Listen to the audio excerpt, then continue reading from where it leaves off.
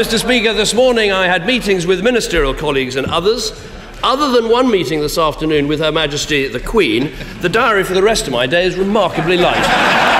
I'd also thank him for what he said about equal marriage. There are 30,000 gay people in our country who, in the last um, six years, have been able to get married, and I think that is real progress. I'll never forget the day, actually, in number 10, when one of the people who works very close to the front door said to me, uh, I'm not that interested in politics, uh, Mr. Cameron, but because of something your lot have done, I'm able to marry the person I've loved all my life this weekend. And that was, uh, there are many amazing moments in this job, but that actually was one of my favourites.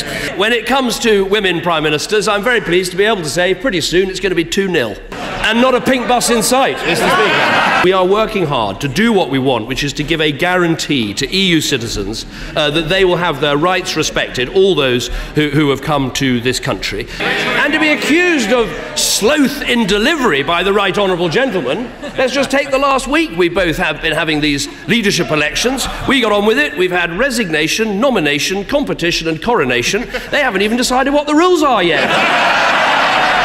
Democracy is an exciting and splendid thing, and I'm enjoying every moment of it. Uh, talking of the economy, the Home Secretary again, she said many people find themselves exploited by unscrupulous bosses. I can't imagine who she's referring to. I'm glad he mentions emails because actually I've got an email as well. Um, now, I got this, I'm not making this up, I promise. I got this on the 16th of September 2015 from someone called Judith, and she said this Please, please keep dignity and not triumphalism during the first PMQs today with Jeremy Corbyn. And she gave this reason. She said, because Tom Watson, who may oust Jeremy Corbyn, is a very different kettle of fish. He's experienced, organised, and far more dangerous in the long term. She goes on, so sensible, sober, polite answers to Mr. Corbyn. Let him create his own party disunity. After this is over, I've got to find Judith and find out what on earth happens next. I'd also like him to pass on my thanks to his mum for her advice about ties and suits and songs.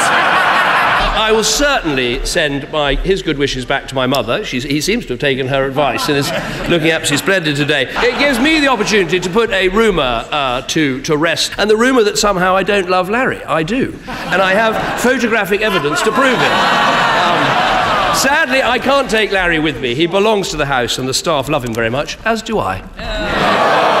Uh, this session does have some admirers around the world. I remember when I did his job and I met Mayor Bloomberg in New York and we walked down the street and everyone knew Mike Bloomberg and everyone came up and said, Mayor, you're doing a great job. No one had a clue who I was until eventually someone said, Hey, Cameron, Prime Minister's Questions, we love your show. Nothing is really impossible if you put your mind to it. After all, as I once said, I was the future once.